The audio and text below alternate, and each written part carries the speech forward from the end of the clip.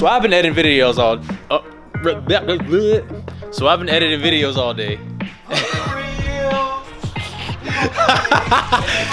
anyway, yes I will. So I've been editing videos all day, and I'm like kind of a VQ fan. I'm not too hyped about it. But anyway, these guys are working on the supercharger for the VQ. We have a VQ owner himself right here working on a VQ. My man. Hashtag trombone boys, what you doing?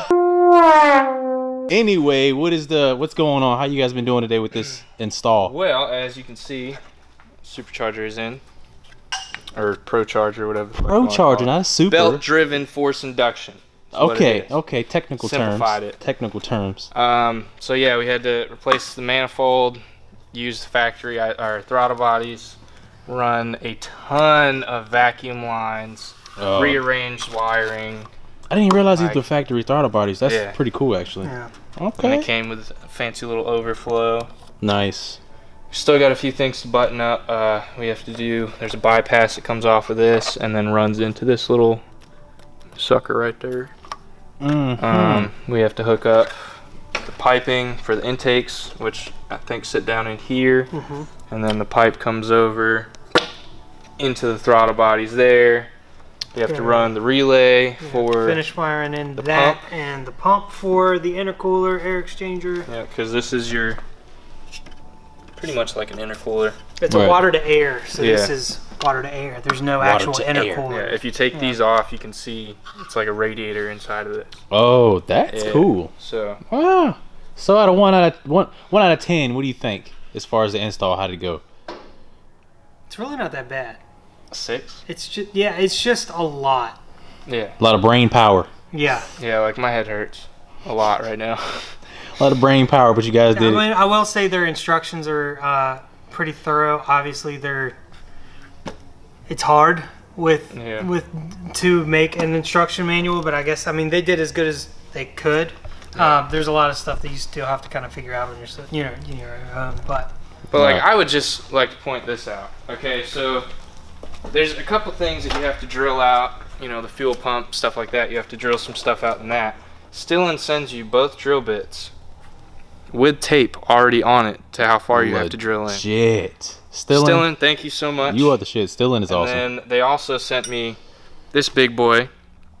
And uh, in the instructions, it says you might have to bend the wrench. Well, it Really? came pre-bent, no. so Are you serious? yeah, they already figured that out. What? Yo, that's solved nuts. that whole problem. I didn't even know that. yeah, because there's three bolts underneath the manifold. you can see one here. The other one's like right here, and then there's another one back here. Whoa. There's no way to get your yeah, hand so how in did there. you get in there? That How- long wrench. That long wrench. And the reason it's bent is to go over top of the fuel rail. That is cool. Stillen is officially like they they got my trust. I mean, they did good. Um, to think about stuff like that, like you know, like Well- that's pretty dope.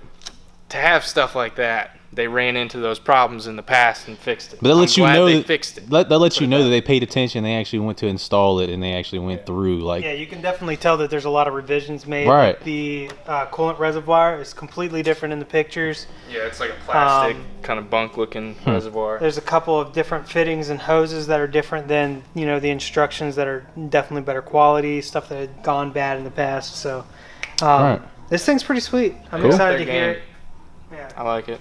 But cool. You gonna put one on yours now? Nope. nope. anyway, guys, we will be back tomorrow. It's five o'clock now. We're going home. Guys are tired. I'm tired, so we're just we'll be back in the morning. Hopefully, we they can get together and we'll vlog some more. So What we got going on, Dame? She done. Um, so we've got Stillen, uh, supercharger installed on this bad boy.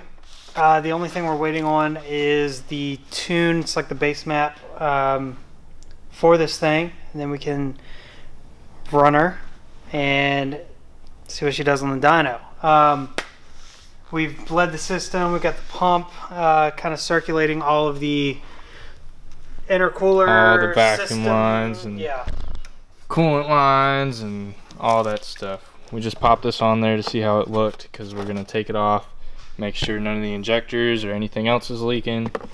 Left the bumper off so we can check all the lines down through here, make sure none of that's leaking. But for the most part, we're there. Still have to put on the uh, strut tower bar, the cross brace, whatever you want to call it, and then we can finish buttoning all that up.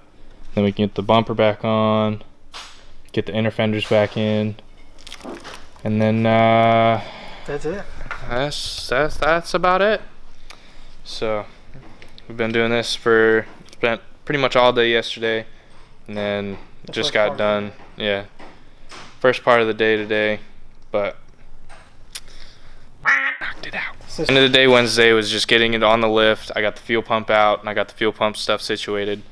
Um, Thursday, Dan and I both knocked it out, got everything pretty much done.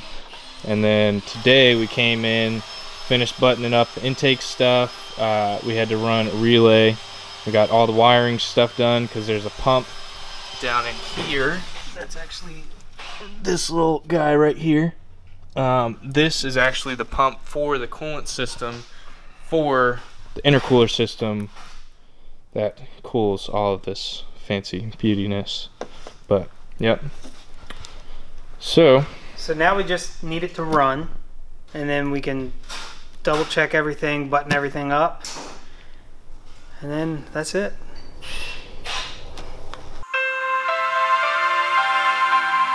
All right, so we got our tune back. Josh is working on that and kind of looking at the tune. He's kind of being a little nosy. Um, but we are ready to start this thing up. So whenever Josh is ready, let's see what First start happens. Yeah. I'm hype. Super hype. It's one of those like a little bit, you know, like a little bit nervous, kind of excited to see what fine. does. I'm just happy, you know. There's there's a there's a lot of lines that we ran. Realistically, the kit is I wouldn't say easy to install because it would be a whole lot e- like this wouldn't be a driveway install. don't Granted, so? you could like Could. I would like I would figure You out how to do it in my, would. in my driveway, but um, it definitely helps having a shop. Definitely need a, a second pair of hands for a few of the parts. Um, yeah. but yeah, What's up? You guys want a Stillen kit for your 370Z? Come to Driver Motorsports and we'll hook you up. Put that in a commercial. Hey, VQ fanboy right here. That's why he said yeah, that. was that was good, CJ. He drives a VQ. yeah. When you drive trumpets, you speak about trumpets. You, you worship trumpets. Yep. Do you like brass? Are you like, are you a brass fan? Did you play tuba in high school? No, I you was played in sand, drumline. yeah. Drumline? yeah. Well, now you're a VQ master. Cut the footage of of Dan tearing it up. I was gonna cut the footage of like.